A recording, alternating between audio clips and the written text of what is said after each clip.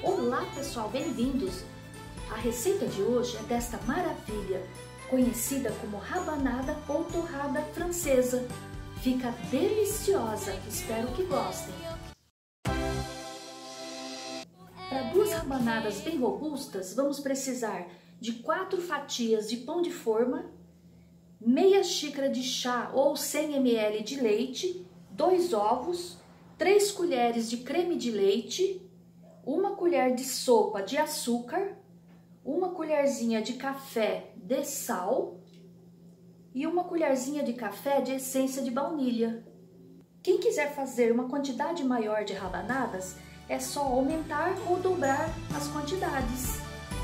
Vamos reservar as fatias de pão e numa tigela vamos misturar todos os ingredientes. Baunilha, pessoal, é opcional. Tem gente que não gosta da baunilha, então não coloca. Colocando bem pouquinho, não altera o sabor da receita e tira o cheiro do ovo.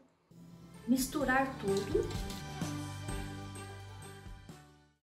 Em uma travessa, colocar as fatias de pão.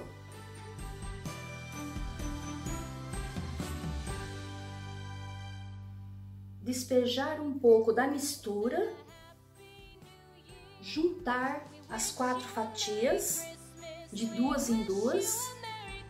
Agora é só despejar o restante da mistura sobre as fatias. Dar uma ajuda com a colher e observem que o pão já absorveu todo o líquido. Em uma panquequeira ou frigideira, colocar meia colher de manteiga ou óleo. Agora vamos para o fogão fogo ligado, a manteiga já está derretendo, agora pode colocar os pães.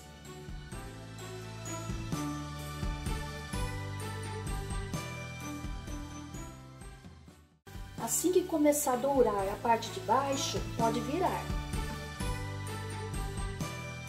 Vai virando até ficar no ponto ou na cor de sua preferência. O ideal é que fique bem dourada. Nossa rabanada já está pronta.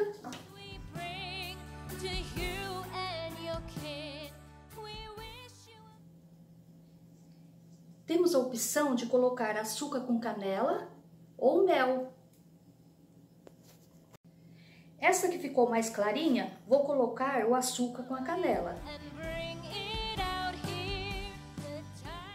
E esta que ficou mais tostada, vou colocar o mel. Vamos ver como ficou?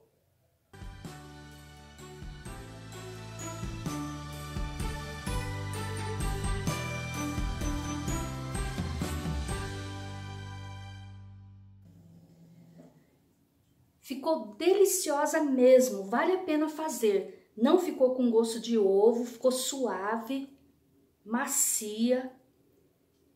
Inclusive, pessoal, o Natal que está se aproximando é uma ótima opção. Nossa rabanada francesa ficou maravilhosa. Espero que vocês tenham gostado. Conto com aquele joinha. Se puder, deixe um comentário, se inscreva no canal e até breve.